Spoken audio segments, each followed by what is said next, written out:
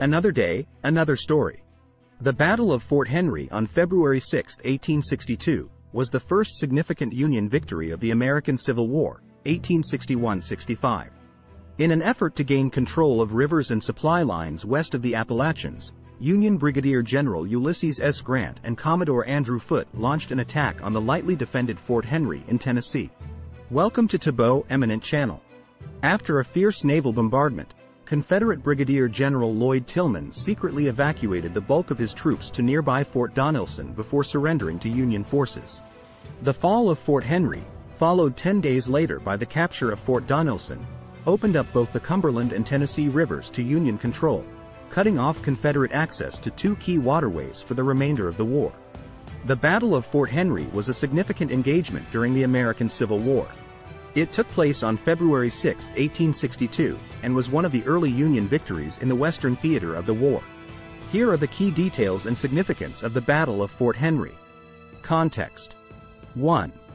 The American Civil War began in April 1861, and by early 1862, both the Union and Confederate armies were actively engaged in various theaters of the conflict. 2.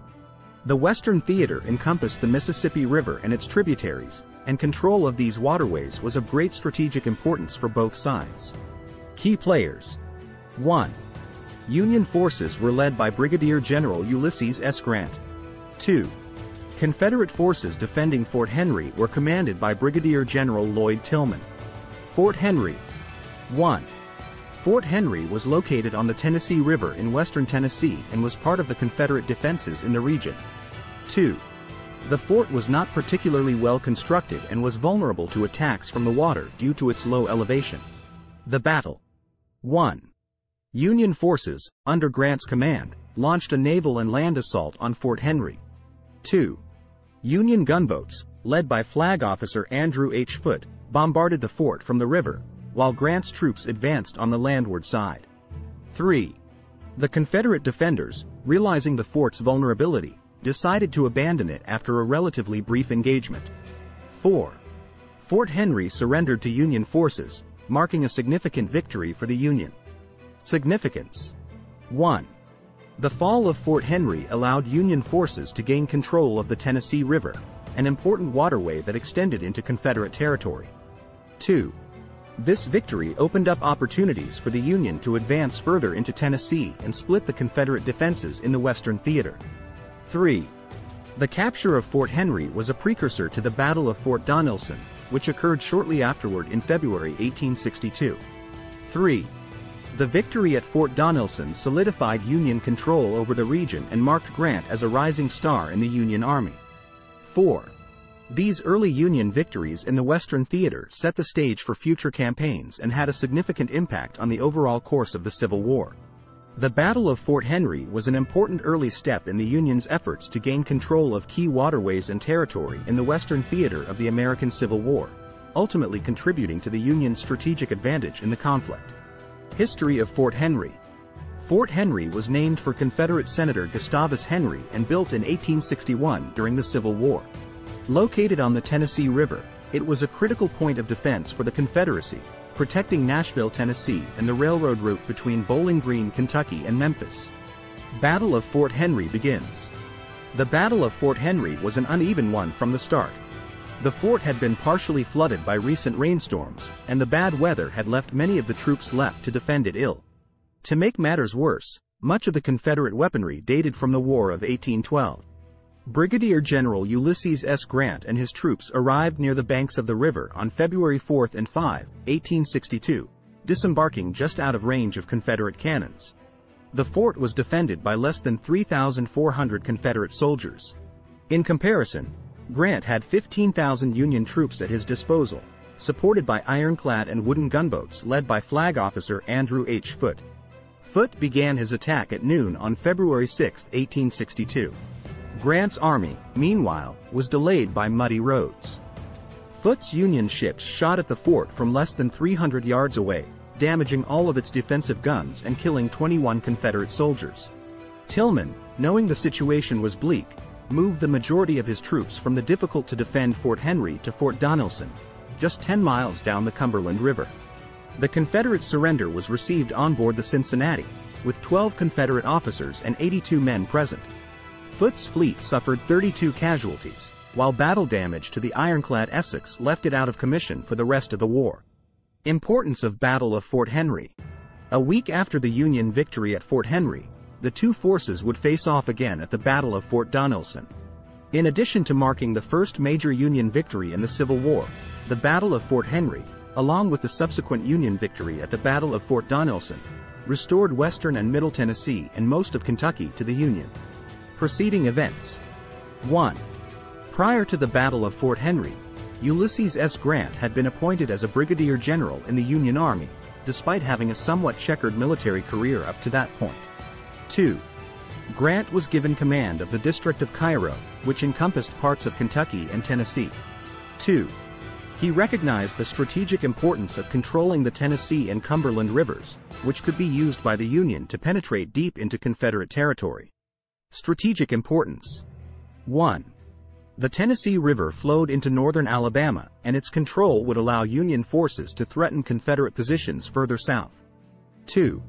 The fall of Fort Henry would also put pressure on Fort Donelson, which was situated on the Cumberland River to the east.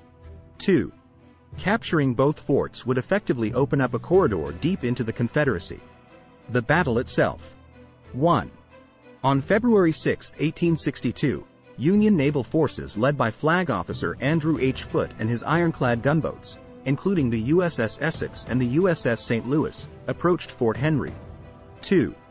The naval bombardment, though relatively short, was effective in damaging the fort and convincing the Confederate garrison, commanded by General Lloyd Tilghman, to surrender.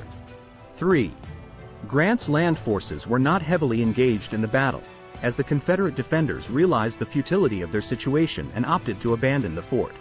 Aftermath 1. The fall of Fort Henry was a major victory for the Union, and it boosted the confidence of both Ulysses S. Grant and the Northern public. 2. Grant's decision to push further east to capture Fort Donelson, which was considered a more formidable position, led to the subsequent Battle of Fort Donelson. 3. The Battle of Fort Donelson, February 11, 16, 1862, was a much larger and more intense engagement, where Grant's forces faced stiff resistance but ultimately prevailed. 3. This victory earned Grant the nickname, Unconditional Surrender, Grant and solidified his reputation as a tenacious and effective commander. 4. The capture of Fort Henry and Fort Donelson opened up Kentucky and much of Tennessee to Union control and marked the first major Union successes in the Western theater.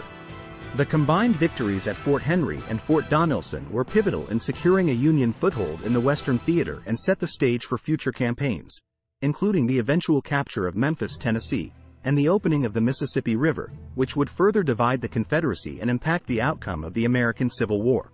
Confederate Defense 1.